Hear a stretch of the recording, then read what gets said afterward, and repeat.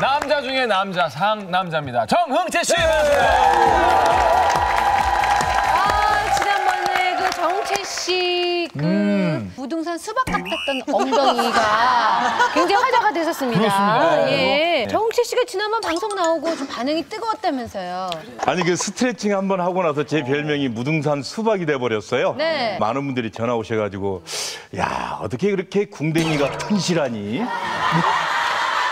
그 엉덩이의 그 튼실함에 예, 진가 좀 알렸습니다. 아, 그래요? 네. 그렇게 엉덩이가 튼실하면 어떤 유리한 점이 있나요? 아 일단 힘쓰는데 좋고요. 예, 예.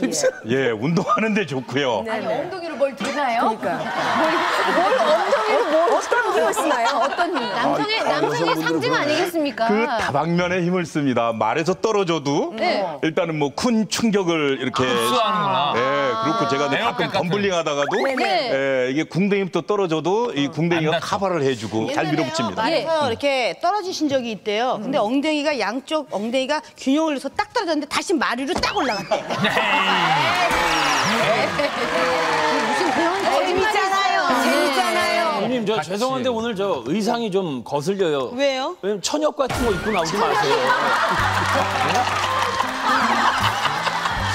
아니 저 정우철 씨 저 사람이 모래주머니 차고 다니는데 모래주머니를 보셨어요? 네? 모래주머니 차고 다니는 거 보셨어요? MC 저 연습하다가 들었어 나도 아, 그건 모래주머니를 차고 다니는 지가 제가 뭐 한 40년 정도 어디 저기 종아리에다가요? 제가 어려서 육상 선수 생활을 했어요. 그래서 어, 속도하고 파워풀한 훈련을 좀 하다 보니까 몸의 일부가 돼 버렸죠. 아니 그러니까 그거를 떼면 네. 지금도 찼어요? 네. 한번 잡아봐요. 차고 있다고? 나는 발목 팔찌 발목에다가 저렇게 아니, 이게- 보통은 이제 운동 때문에. 예, 처음에 예, 바람을 가르는 게 너무 좋아서 네.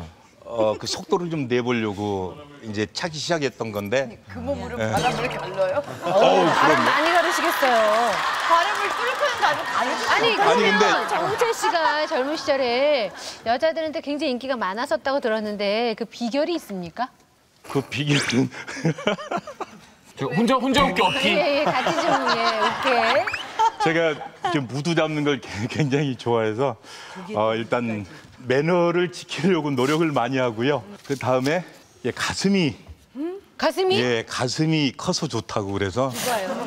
가슴이 아 가슴 넓어서. 예, 굉장히 가슴 가슴이 넓은 거지. 아니 저기요. 게스트가 나와가지고 뭐 띄워주는 건 좋아요. 근데 내가 보면은 냉정하게 얘기해서 저런 스타일 여자들 별로 안 좋아해요.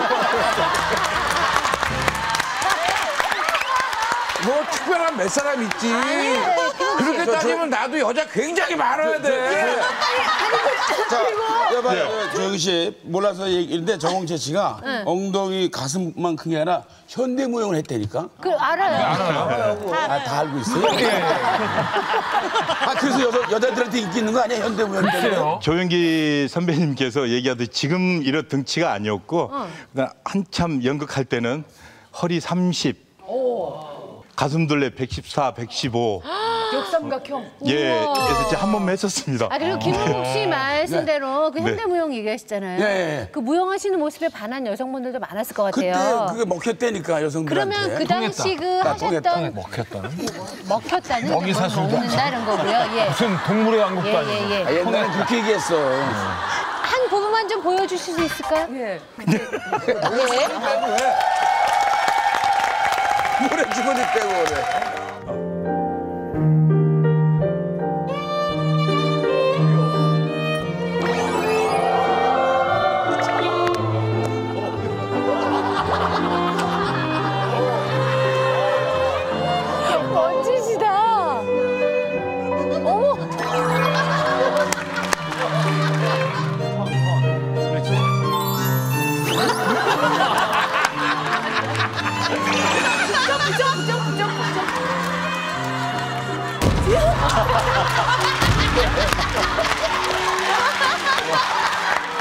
아라베스크는 아라베스크, 아라베스크.